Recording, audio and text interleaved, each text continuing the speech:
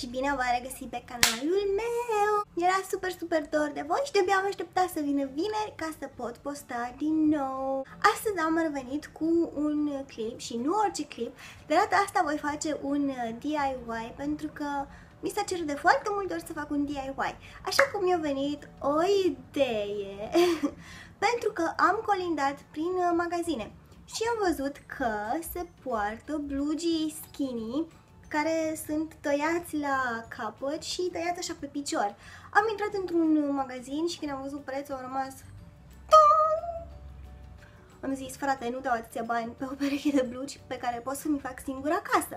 Așa că m-am gândit să vin acasă, să cotrobăi prin uh, hainele pe care le am și pe care nu le mai port și...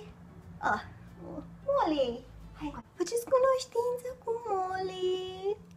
Că tot se plimbă pe ea și... Hai! O, tu, tu, tu, tu. Hai, acum lăsim-mă și o filmez. Am ajuns acasă, am cotrobăit printre hainele care eu nu le prea port și pe care le țin în dulap în speranță că le voi purta într-o bună zi și am găsit o pereche de blugi skinny. Am ajuns la concluzia că îmi sunt prea mari la lungime și că pot să fac ceva cu ei. Am gândit să fac un clip în care să vă arăt cum să vă transformați blugii cei vechi în blugii cei noi și super, super la modă. Aceștia sunt blugii pe care eu nu-i mai port și i-ați văzut prin poze, bineînțeles, dar, nu știu, de la un timp au început să îmi displacă.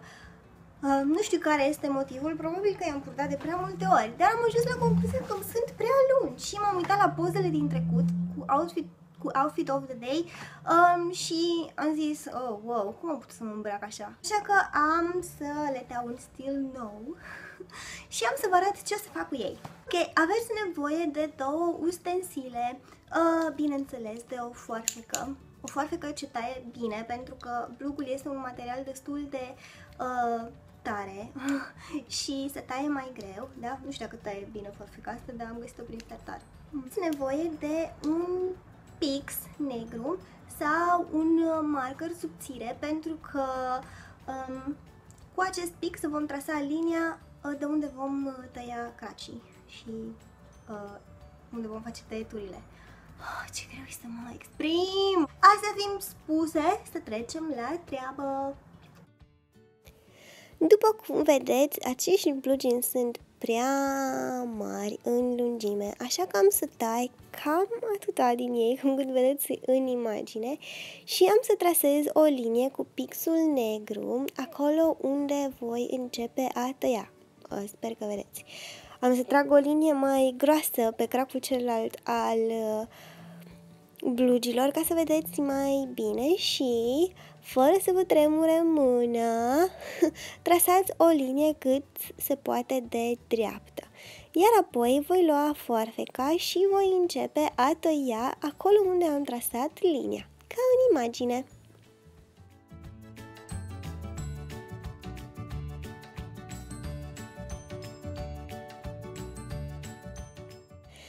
La acest stagiu, blugii voștri ar trebui să arate cam așa. Iar apoi îmi voi lua pixul din nou și voi trasa linii scurte acolo unde doresc să fac tăietura.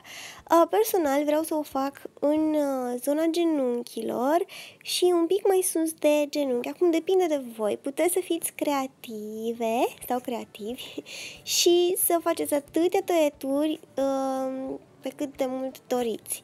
Um, eu personal nu vreau să-mi tai prea mult pentru că nu-mi place și am să fac doar două tăieturi pe fiecare crack.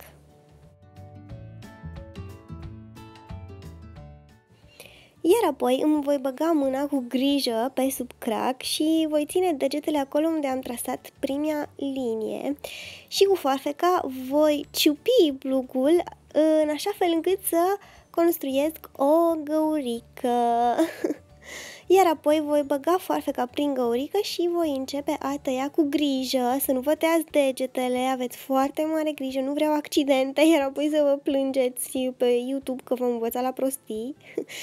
și apoi, după ce am tăiat, voi rupe blugii, uh, creând acea ruptură, pentru că de fapt asta vrem și ajutându-mă de degete voi trage firicelele de ață care rămân în urma tăieturii pentru a obține acel uh, look așa un pic mai dezordonat și tăiat, pentru că asta vrem.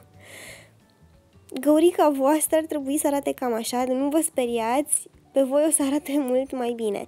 Iar apoi îmi voi băga mâna prin gaura pe care am creat-o, voi ciupi iar oblugul și îmi voi rupe pentru a crea din nou aceea gaură.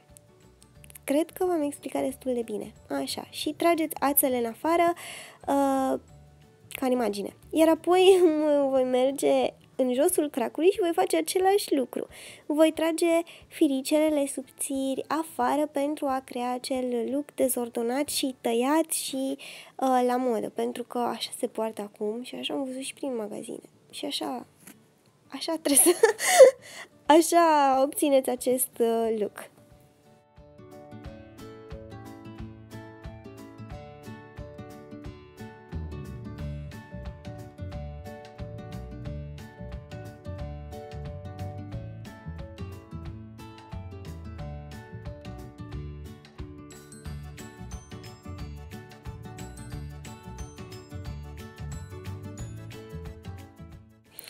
Gata, cam așa ar trebui să arate acești blugi pe voi. Sper că vă place și sper să încercați!